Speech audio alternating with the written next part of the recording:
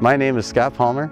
We're in upstate New York. This is Springbrook Orchards with its sister company, Reality Research. This company was actually started with my parents and my wife and I 14 years ago, but we've actually been doing research for over 30 years on this farm. We actually started out working for a professor from Cornell that uh, saw a need for independent contract research to being done. So he actually had bought this farm. We worked with him in the 80s and then took it over a few years later that now has become Reality Research. One of the reasons why that name changed was really because what people saw here compared to many other places was real. What we do, a grower could simulate, could reenact in his own farm. Every day is different here on the farm. One day we'll be working on the farm picking apples, which we are doing today. We also may be uh, working on potatoes or peppers for sizes or for fungicide trials. That's what's exciting. Uh, we get to see so much. We get to work with such great people. Our customers, uh, whether they be chemical companies, biological companies, or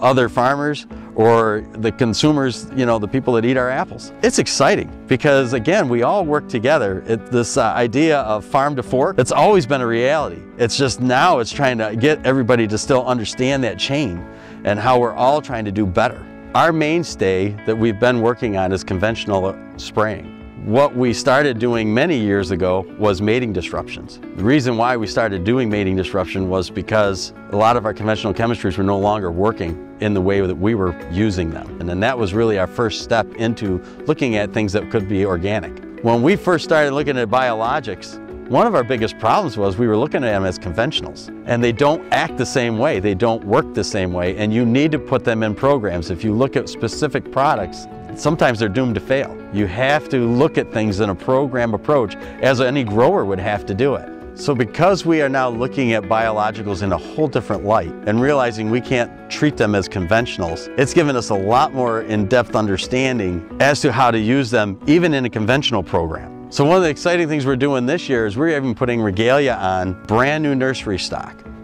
And then we're going to be putting those into orchards why we're a research company is we're going to actually take some of those trees and inoculate those with fire, fire, blight during blossom blight time and again during trauma blight time to see what kind of residual we have of, of an effect the following year.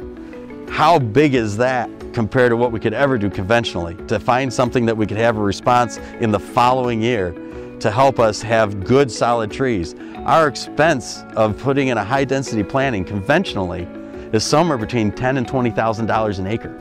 That's a huge investment and to only be able to lose that to a trauma blight uh, strike could be devastating to a grower, even one acre. So being able to do these things properly is huge. Nobody wants to hurt the environment. Nobody wants to, to ruin the land that their families have grown up on and are trying to make profitable year after year.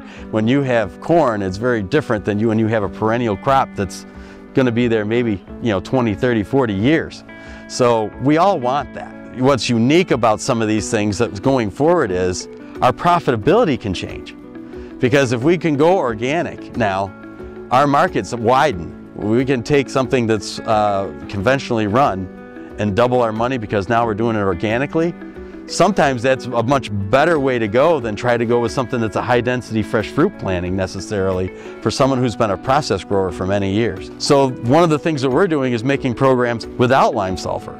So, so our, even our organic programs are being adjusted because of the biologicals and the SAR uh, response products we have, such as Regalia, bringing to the table that we don't necessarily have those harsh chemicals, even though we're organic, we don't need to use them anymore as well.